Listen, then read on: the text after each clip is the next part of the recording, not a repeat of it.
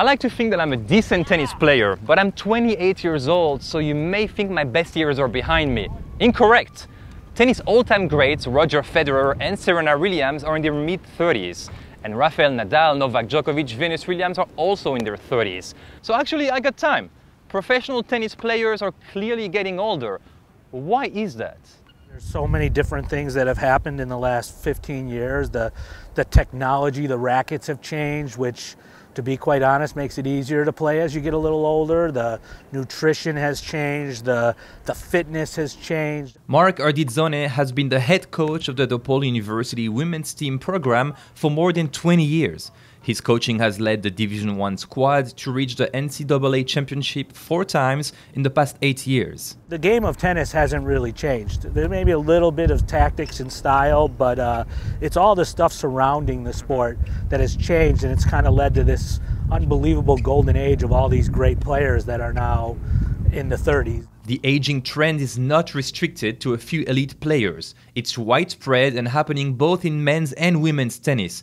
The Economist calculated that from 1990 to 2017, the average age of the top 100 tennis players increased from 25 to 29 on the men's side and from 23 to 26 on the women's side. Tennis is also at a golden age when it comes to prize money, when it comes to sponsorship. Mama said knock you out.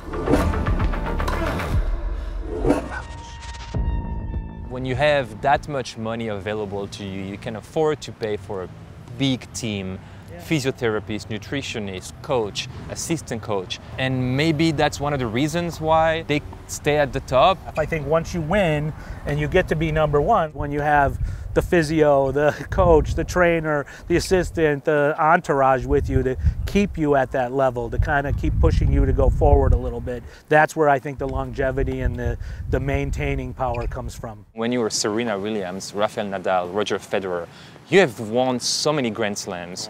You lose the first set 6 love. Who cares? You have nothing to prove anymore. They can handle the, the bad things yeah. much more. You know, you lose a set or a crowd or a bad call or something, whereas the younger players can let that really affect them. The, the older players tend to let things kind of roll off them a little better. They just understand it's it's it's a marathon, it's not a sprint. Just like you want to win, just like you at the U.S. Open. The champions just maybe they wanted a little more. Yeah. And you know, and if Serena wants it a little more, and if Roger wants it a little more, it's just, you know, some kids are taking their shot at those guys on a one day. Millman can beat Roger on one day, but he's not going to beat him nine out of ten times. You know, it's a great era, and I hope that's what people really take from it is that we're getting something special here. Enjoy it while it's here.